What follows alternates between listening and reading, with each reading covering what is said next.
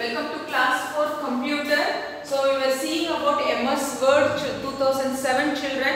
So under that we are learning formatting. Okay, so in the last class we learnt about how to change the font style, font size, text color, highlighting the text and text border. So in today's class how to make your text bold, italic and underline and, and some other topics children. So first one bold means this uh, the normal way we type means it will look like this okay. So what we are doing to make it so the font size to be bold or thickened one children. So for that we are doing here see observe here. So select this text okay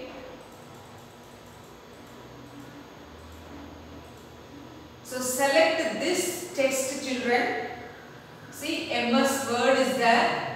I am just uh, redu- Okay. So select this word. Okay. Then go for in the home tab. Okay. Home tab in the font group. You have the bold children. See it will bold. It is written. Make the selected text bold. So observe the change children. See when we select it, the word, uh, the size, it has become thickened. Okay. This is you are making it bold. The same way for this sentence also, select the text, go to home tab. In the font group, you have the bold. So it will get a change in the look. The letter size will be thickened one.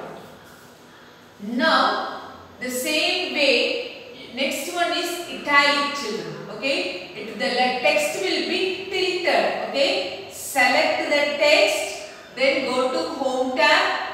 In the font group, you have the italic. Click there. Okay, italic.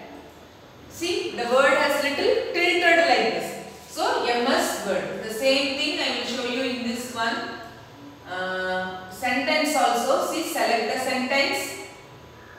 Select the sentence.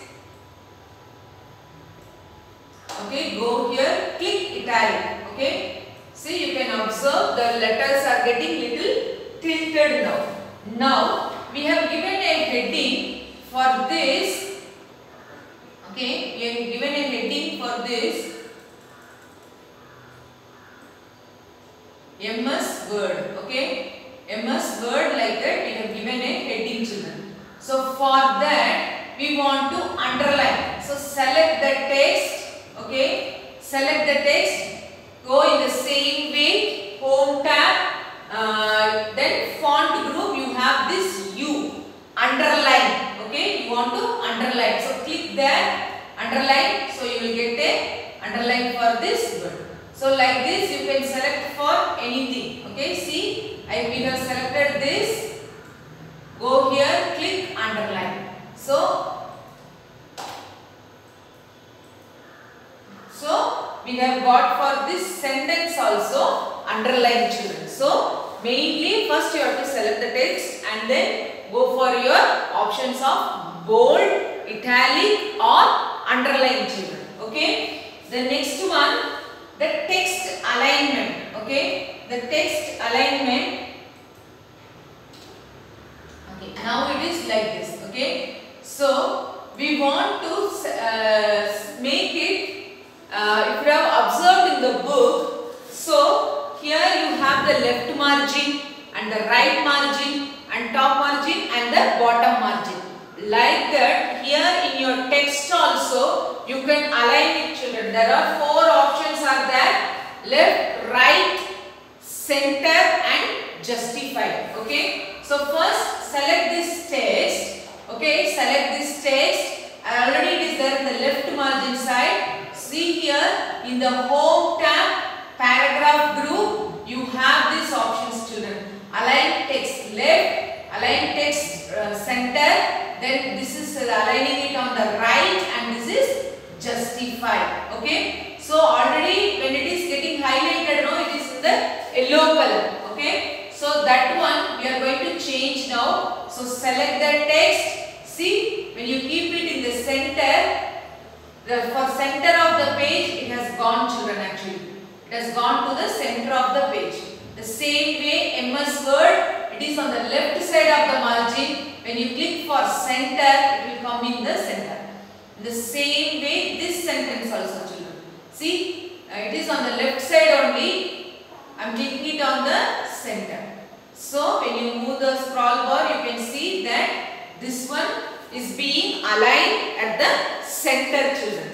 So, when you select all these things, okay, when you do it on the right side, see, it has moved to the, the text has moved to the right margin. So, when you move the scroll bar, it is on this right side. See, like this, has moved. So, again, when we are clicking justified means, it will come to over here.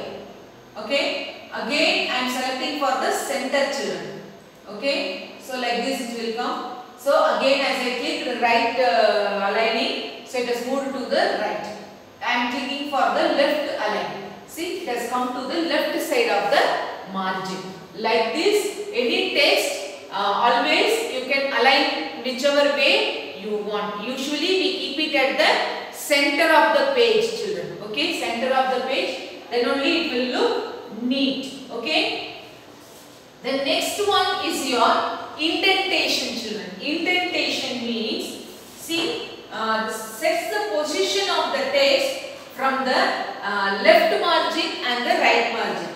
Okay. See, you would have observed any textbook children. So, always the left margin will have the equal gaps. The same way right margin, top margin and the bottom margin. So, in this way, we have to set the margin children for the text. So, that is called as indentation. So, how we can do? See here, the home tab, paragraph group, we have this two indentation children, left and uh, there is a, the, this one is decreased indent, decrease the indent level of the paragraph and this right one is your increase the indent level of the paragraph children. Okay. So, these two places you have. Okay. So, increase or decrease. So, now we will see that what happens.